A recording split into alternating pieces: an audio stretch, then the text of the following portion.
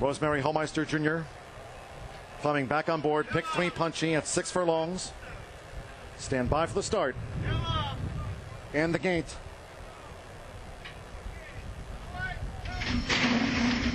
And the Roth. The first time starter Papa Giorgio was last away and was soon outpaced. It's Mick and the Dare to Dream stable newcomer. Pick Three Punchie, vying for this early lead. Viva Wildwood with the red cap third and driven with the rail now by Chris Amy. Then on the outside is Logan Slotto, who's running second to last. And after hesitating at the brink, Papa Giorgio trails this maiden quintet as they pass the half mile.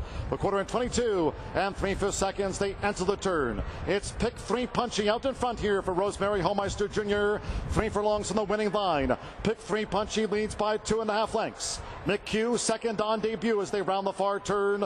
Viva Wildwood is now a clear third.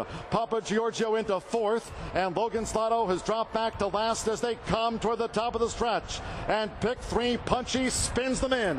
Half mile in 45 and three fifths seconds. They're in the final furlong and a half.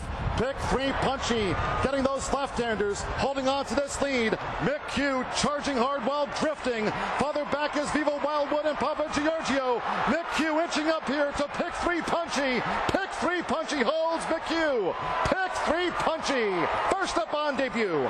Won by three quarters of a length. McHugh was second by a long way. Viva Wildwood third, Papa Giorgio fourth. We trailed back to Logan Slotto last to finish.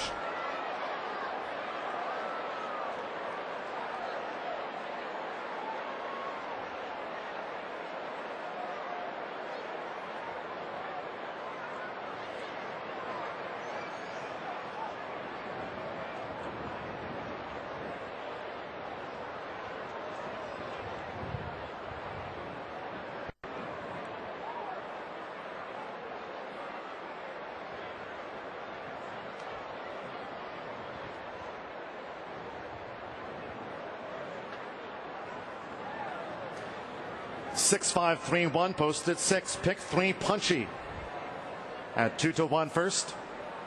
Number five, Mick Hugh at five to two second. Three Viva Wildwood at two to one third, and one Papa Giorgio at five to one fourth. This is unofficial. Hold all tickets, please. The time one minute eleven and three fifths seconds. Six five three one unofficial.